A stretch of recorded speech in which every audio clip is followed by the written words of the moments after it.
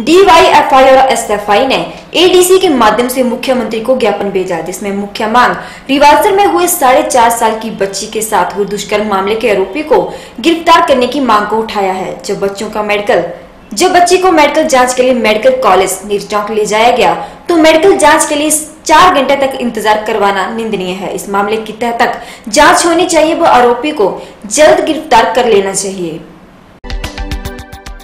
DYFI और SFI ने ADC मंडी के माध्यम से मुख्यमंत्री को ज्ञापन भेजा है, जिसमें मुख्य मांग, रिवाल्सर में हुए साढ़े चार साल की बच्ची के साथ हुए दुष्कर्म मामले के आरोपी की गिरफ्तारी की मांग प्रमुखता से रखी गई है। जब बच्ची को मेडिकल जाँच के लिए मेडिकल कॉलेज नेर चौक ले जाया गया तो मेडिकल जाँच के लिए चार घंटे तक उसे इंतज़ार करना पड़ा, जो कि निंदनीय है। इस मामले की तह तक जाँच होनी चाहिए और आरोपी को जल्द गिरफ़्तार करना चाहिए। ज्ञापन में कहा गया है कि पूरे प्रदेश में लगातार बच्चों और नाबालिगों से बलात्कार की घटनाएँ बढ़ रही हैं।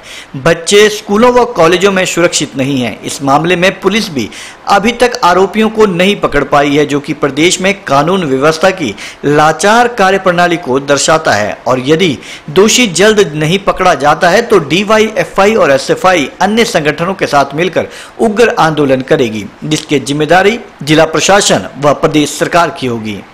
आज मंडी के एडीएम एडीसी के माध्यम से जो है डीवाईएफ और एसएफआई ने मिलकर जो है प्रदेश के मुख्यमंत्री को ज्ञापन सौंपा है मांग पत्र सौंपा है, जिसमें हमें मांग की जो रिवाल्सर के अंदर जो साढ़े चार साल की बच्ची के साथ जो है दुष्कर्म हुआ, उस मामले के अभी तक जो है जाँच सही ढंग से नहीं हो पा रही है और इसको जल्द से जल्द किया जाए। तथा जो आज स्कूल, कॉलेजों के अंदर जो पढ़ने वाले बच्चे हैं, उनको उनको जो प्रोटेक्शन प्रोवाइड करवाने की ज़रूरत है आज के समय के अंदर और इसके ऊपर थोड़ा सख्त कानून बनाने की ज़रूरत है।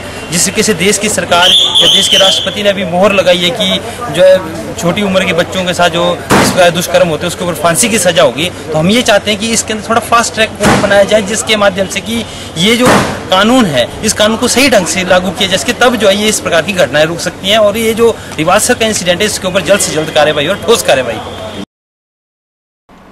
वक्त से चले छोटे से ब्रेक का, ये मिलते हैं ब्रेक के बाद।